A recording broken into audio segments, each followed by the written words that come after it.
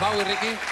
Yo creo, es, yo creo que fue eso que dijo la Sole. Sergio hizo el tema tan de él que por eso fue que yo sentí que no lo había escuchado nunca. Mi apreciación, yo me iría por Sergio porque a mí Sergio, como dice la Sole, hay algo que tiene él que es como llamativo, que es como sin querer, ¿sabes? Sí. O sea, él no está... Tiene una manera muy particular de hasta dar las gracias antes de empezar, ¿sabes? O sea, te mira y hace... ¿Sabes? Y ya de una vez ahí tú Así dices, que- tú volteas y haces... ¿Sabes? O sea, Es un gente chico muy que- agradecido, claro. Sí, de una vez te provoca.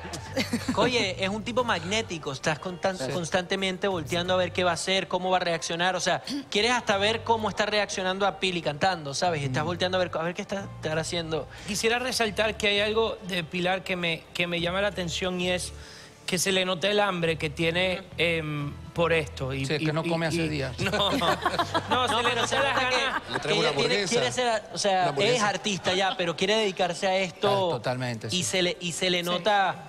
O sea, yo creo que a diferencia de Sergio, que Sergio sé que también se quiere dedicar a esto, pero Sergio es como que sabiendo que se quiere dedicar a esto no parece. O sea, el tipo llega y hace.